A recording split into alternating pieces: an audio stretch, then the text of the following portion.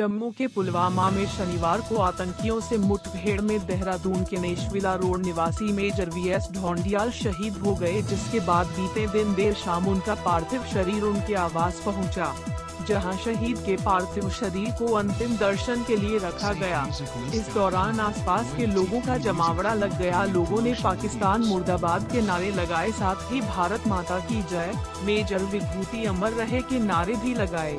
शहीद की पत्नी निकिता, माँ, दादी और बहनों का रो रो कर बुरा हाल है। आपको बता दें, आठ महीने पहले ही मेजर की शादी कश्मीरी पंडित निकिता से हुई थी। दोनों की लव मैरिज हुई थी। इस दौरान मुख्यमंत्री त्रिवेंद्र सिंह रावत, पूर्व मुख्यमंत्री हरीश रावत समेत रिटायर गोरखा जनरल शक्ति गुरुंग सहित बड़ी संख्या में गोरखाली समुदाय के लोग मौजूद रहे सैन्य सम्मान के साथ शहीद को अंतिम विदाई दी गई। इस दौरान हज़ारों का जन सैलाब मौजूद रहा इसके बाद शहीद की अंतिम यात्रा हरिद्वार के लिए प्रस्थान कर गई।